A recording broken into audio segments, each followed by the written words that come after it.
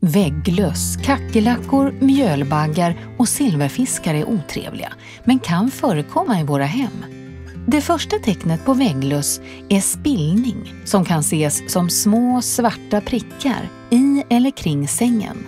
Du kan också få små röda bett på huden. Mjölbaggar kan du hitta i köket bland mjöl eller pastapåsar. Kasta all mat från de skåp där mjölbaggar visat sig. Torka rent ordentligt. Silverfisk är bland de vanligaste insekterna inomhus. Den syns oftast kring avlopp och golvbrunnar. Kackerlackor trivs bäst under kyl, frys och spis. Skadedjur är oftast inget du blir av med på egen hand.